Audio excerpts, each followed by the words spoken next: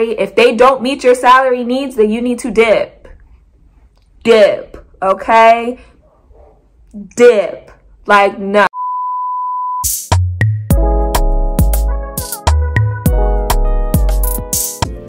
Hi everyone, welcome back to D Renee's The OT Chronicles.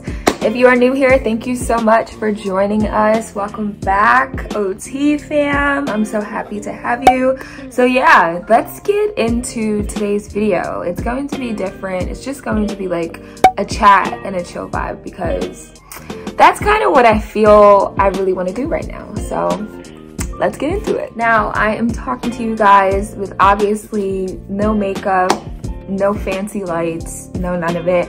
Because this is kind of the content that I want to put out. Like, I don't want to have to sit here and get all done up for a video where I just feel like I want to be transparent, want to be honest. This is what I look like on a daily basis. Um, it's currently January 17th. Um, it's about 12 o'clock. I am working from home right now. Um, and so I'm doing like telehealth visits. I wanted to kind of come on here and just kind of be transparent with you guys about a whole bunch of different things. Um, the first being when it comes to teletherapy and then in-person therapy. I feel like those are some two big things that you have to realize you are going to be doing in these times that we are in. So as a therapist, you need to be able to kind of fluctuate between both. Um, and I think that's very important to know. I was blessed enough in my level two rotation to actually have to do both. So therefore, when I was looking for jobs and they needed that requirement, I was like, oh, well, box checked. I already have experience doing that. So that really worked out for me. Um, if you are a student right now or you're a clinician watching this and you are struggling with teletherapy, I get you. I completely get you.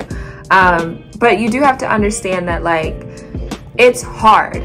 Everyone knows it's hard it's really up to us to try to make the appointments to try to make the sessions as therapeutic and as client-centered as possible. Um, a tip that I have to kind of help you is honestly go into these with like a broad idea. Don't be like so boggled down into like the details. Because honestly most of the time these families don't have much. So you really need to be creative and you need to ask them what do they have and make it work and make it therapeutic and make it work for the roles. Like you gotta you gotta be creative. And so that's something that i really wanted to kind of discuss here because i think it is super important.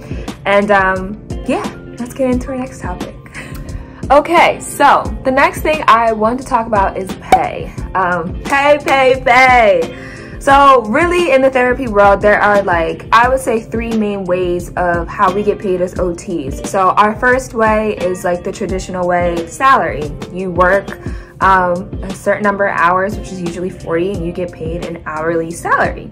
Um, you get benefits and you get um, all these different kind of perks from it.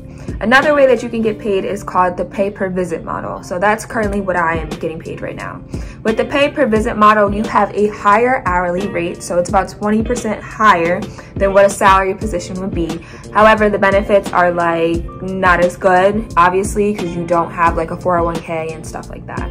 Um, so another way that we get paid and the final way, I, at least that I know about right now, is cash based. So I actually do know a couple of therapists who do cash-based therapy services, which means that they do their services. They're like an LLC or whatever, and they do all that documentation.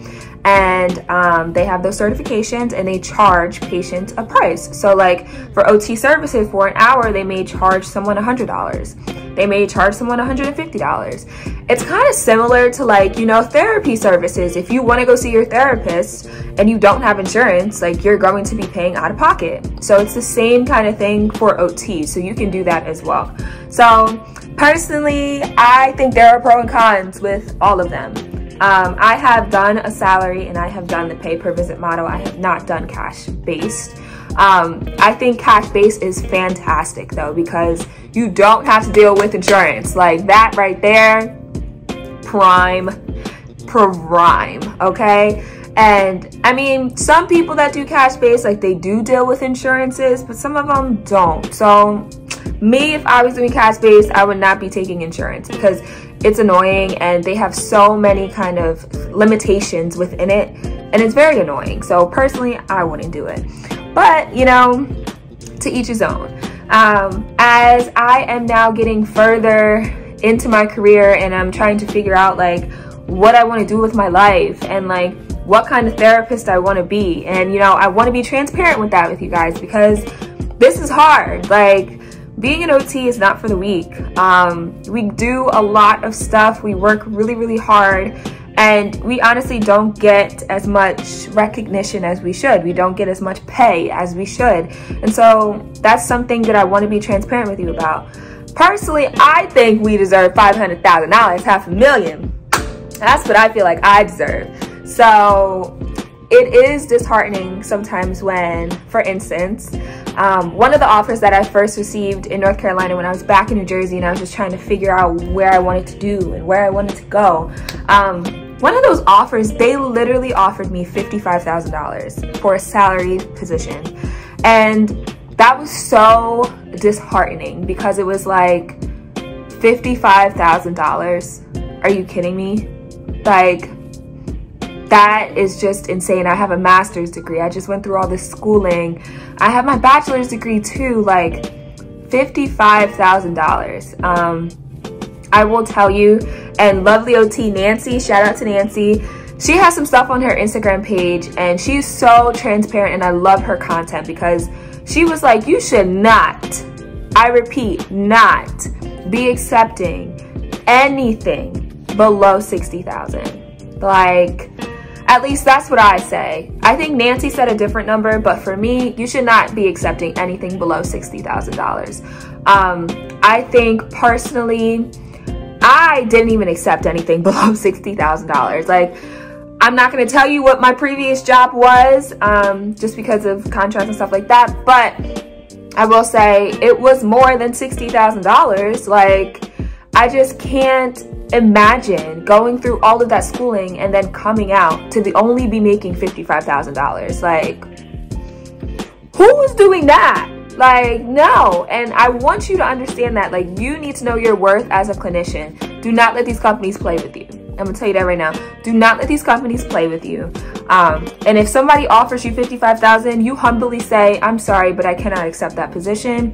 How about we negotiate a different salary? If they don't meet your salary needs, then you need to dip. Dip, okay? Dip. Like, no. I just, I don't know. And that's something that I'm learning about myself. I'm building on my advocacy. I'm building on those skills.